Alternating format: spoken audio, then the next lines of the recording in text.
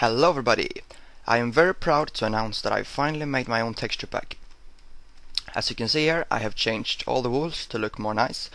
I have uh, removed all of those small dots that were on the walls.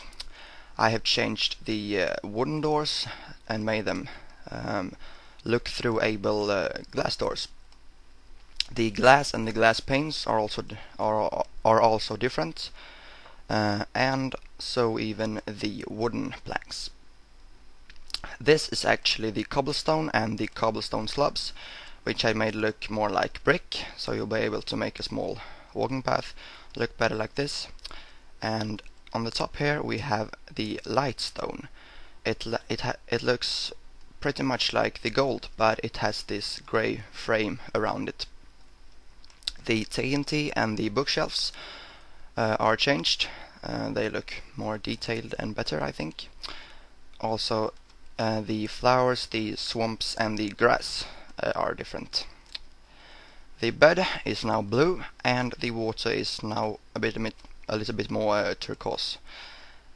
This is the note blocks, uh, which looks a bit more like speakers, and this is the uh, jukebox. The sandstone here is also a little bit different, not much, but a small difference. Uh, as you can see here, uh, this is pretty modern, modern this uh, pack. Uh, it looks kind of like the original and the default one, but I think this is more nice because I changed those things that I didn't like in the old one. Of course, I will be using you'll. Uh, of course, I will be using this one, this texture pack, in my uh, upcoming videos, and so even in my upcoming house, which I will be building here, I suppose.